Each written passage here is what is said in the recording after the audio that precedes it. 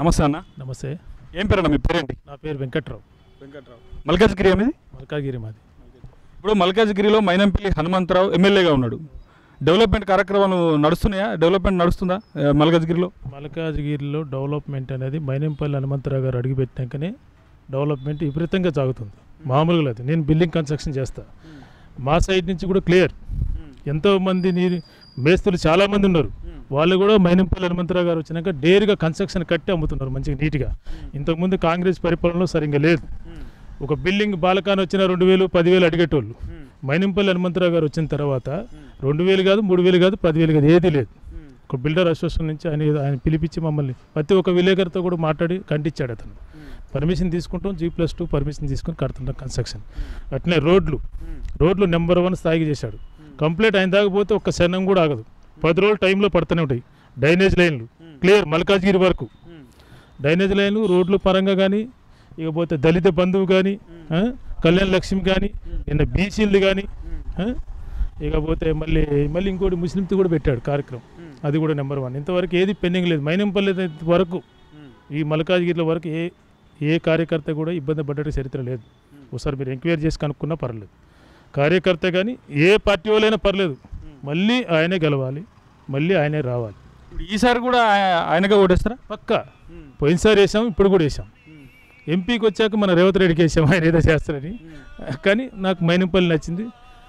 మళ్ళీ ఆయన్నే గెలిపేయాలని మా కోరిక. ఎంపీగా రేవంత్ రెడ్డి ఉన్నాడు మల్కాజ్గిరిలో. ఎట్లా ఉంది? ఆయన పనితీరు ఎట్లా ఉంది మరి? ఆయన పనితో అయితే మనం ఇంతవరకు చూడలే. ఆయనతో మీటింగ్ కూడా అటెండ్ కాలే. మైనంపల్లి గారితో మేము జనసేనలో పార్టీలో ఉన్నా కూడా మైనంపల్లి గారు అంటే మాకు గౌరవం. ఎందుకంటే వాళ్ళ రిలే మా కలవకుంట్ల వంశీ నా ఫ్రెండ్. చాలా క్లోజ్ ఫ్రెండ్ నాకు. ఆయన నాకు ఫోన్ చేసి చెప్పాడు. కానీ ఆయన చెప్పింది ఎంతో కానీ ఈయన చేసింది క్లియర్. మైనంపల్లి హనుమంతరావు గారు ఆయన చెప్పిన కాడికి కూడా డబల్. Number one. ఆయన దాకా పోవాలంతే మనం. మనం మన సమస్య అనేది ఆయన దాకా పోతే తప్పనిసరిగా. ప్రతి మల్కాజిగిరి ప్రతి ఒక్కటి చూడు గుడికాడ కానీ ఎక్కడైనా ఎంక్వైరీ చేయి. మైనంపల్లి హనుమంతరావు గారు ఆయన చేసే పని ప్రతి ఒక్క పని నీతి నిజేతుడు ఆయనకి ఏం తక్కువ? ఆయనకి ఏం తక్కువ చెప్పండి? ప్రతి దాంట్లో ఆయన నెంబర్ వన్ మల్కాజిగిరి వరకు నెంబర్ వన్ ఆయన.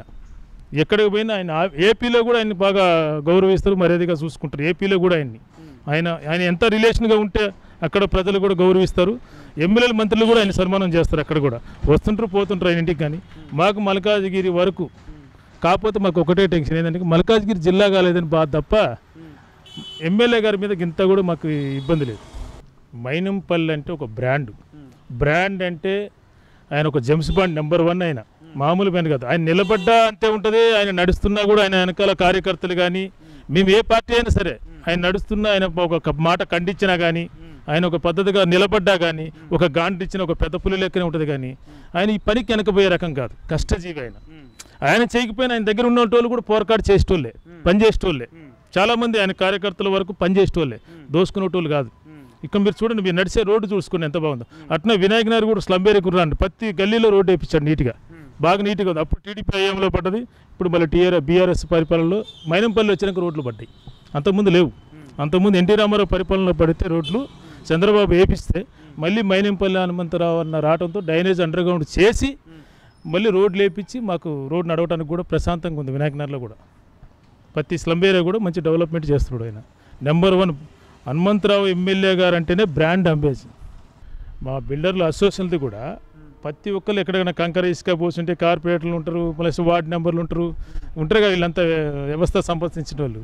వీళ్ళందరినీ మన పేపర్ మన పేపర్ ఎన్టీవీ కానీ టీవీ నైన్ కానీ సాక్షి కానీ ఈనాడు కానీ మన టీఆర్ఎస్ కానీ ప్రతి ఒక్కదాన్ని పిలిచి పేపర్ వాళ్ళందరినీ పిలిచి మీటింగ్ పెట్టి మా బిల్డర్లందరినీ పిలిపించి కంకర ఇసుక పోసిన కాడ ఎవరిని కూడా రూపాయి అడగొద్దు మీరు. రూపాయి అడగొద్దు మీ సమస్యలు ఏమైనా ఉంటే నాతో చెప్పండి. నేను సాల్వ్ చేస్తా. వాళ్ళు జీ ప్లస్ వన్ పర్మిషన్ తీసుకుని కడతారు రోడ్డు జరిగిన రద్దు జరిగిందని వాళ్ళు ఇబ్బంది పెట్టొద్దని చెప్పి మొన్న మీటింగ్ పెట్టారు మాకు. మాకు ఎంతో సంతోషంగా ఉంది. ఎమ్మటినే ఖండించారు పేపర్ వాళ్ళు కూడా మా కంటికి అవపడట్లే మేము. కట్టే కాడ ఏ? ఇంతకుముందు ఎట్టుండేది ఓడి నెంబర్ బాడీ నెంబర్ అని చెప్పి వచ్చేటోళ్ళు బాలకాలు వేసినట్టు గుంజేటోళ్ళు. ఇప్పుడు అట్టాడిది ఏం జరగట్లే? మైనంపల్లి గారు వచ్చిన కాంచి. మాకు ఎంత హ్యాపీగా ఉందంటే ప్రతి దిక్క చూడండి మల్కాజ్గిరి కన్స్ట్రక్షన్లో ప్రతి చోట చూడండి కన్స్ట్రక్షన్ ఎక్కువ జరుగుతుంది. ప్రతి గల్లీలో కన్స్ట్రక్షన్ జరుగుతుంది. మాకు అసలు ఇబ్బందే లేదు. కాలు మీద కాలు వేసుకుని వర్క్ చేసుకుంటున్నాం మమ్మల్ని ఎవరు అంటే మున్సిపాలిటీతో మాట్లాడుకుంటాం. అంటే మేము అక్రమంగా వెళ్ళట్లేదు. నీతి నిజాయితీగానే ఆయన చెప్పినట్టు జీ ప్లస్ వన్ టూ అంతే. సి ప్లస్ టూ వరకే మా పర్మిషన్ ప్రకారం తీసుకొని చేస్తున్న పని. ఏ పేపర్లో కూడా మమ్మల్ని బెదిరించేయలేదు చేసేది లేదు ఆయన మాట్లాడినాక ఎవరు కూడా మా దగ్గరికి వచ్చింది లేదు. ఒక మీటింగ్ పెట్టి మమ్మల్ని బిల్డర్ అసోసియేషన్కి మమ్మల్ని ఒక స్థాయిలో పెట్టాడు ఆయన. అందుకే ఆయన అంత ఆయన అంటే మాకు అంత గౌరవం ప్లస్ మేము ఓటు వేసినా కూడా మా బిల్డర్ అసోసియేషన్ లేబర్ కన్స్ట్రక్షన్ మొత్తం అందరూ కూడా మైనపల్లికే ఓటు పడుద్ది ఎక్కడ బీసీ కాదు ఒక ఓటు కూడా.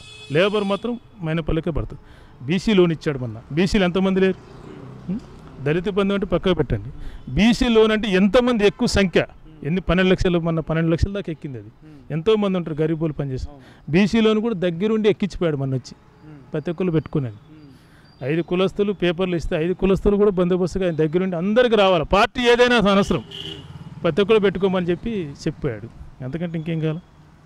ఓకేనా? ఇంకేమైనా ప్రాబ్లం ఉందా? మీకేం డౌట్ ఉంటే అడగండి చెప్తా.